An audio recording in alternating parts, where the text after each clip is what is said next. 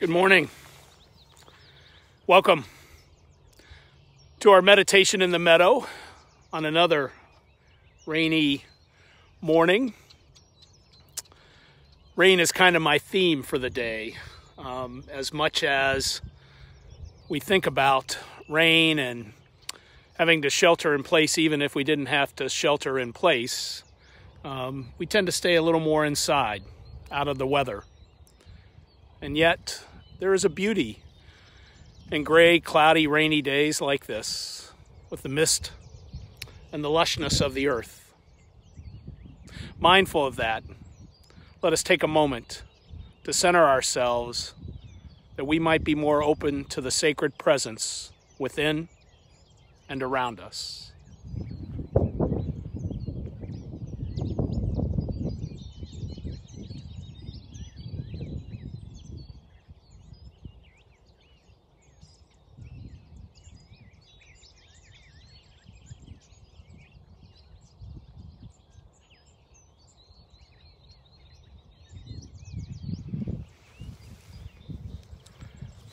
A reading this morning from Psalm 72, adapted by Nan C. Merrill in her book Psalms for the Praying. May we know oneness with you as long as the sun endures, as long as the stars shine throughout all generations. May we acknowledge you in the rain falling on the fields and in the meadow, like showers that water the earth. In our day, may justice flourish and peace abound throughout all the nations. May every heart open to your love from sea to sea, from the river of life out to the universe.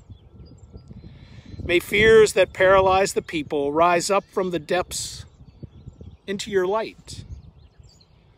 Blessed be the beloved, the one who dwells in our hearts, who guides us along the way. Blessed be you who come in, na- in the name of love. May your glory fill the earth. Amen and amen.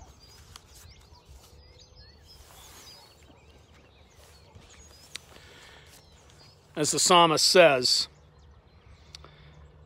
May we acknowledge you in the rain falling on the fields, up here in the meadows, in our yards, wherever. Blessing us, nourishing the earth, and bringing it to life.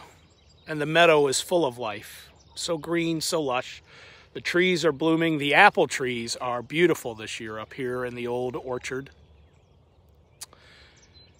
I was thinking of the rain, and Mary Oliver has a wonderful poem. Last night, The Rain Spoke to Me is the title of her poem, and I wanted to share it. Last night, the rain spoke to me slowly saying, What joy to come falling out of the brisk cloud, to be happy again in a new way on the earth. That's what it said as it dropped, smelling of iron, and vanished, like a dream of the ocean into the branches and the grass below. Then it was over, and the sky cleared.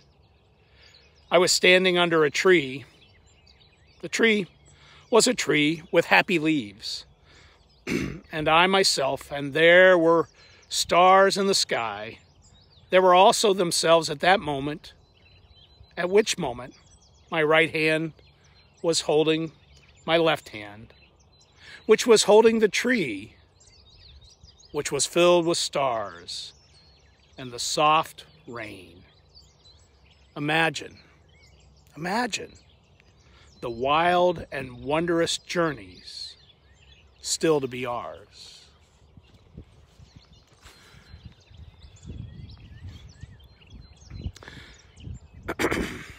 the rains come and they nourish the earth, And God's love, like the rains, nourish our hearts and our lives.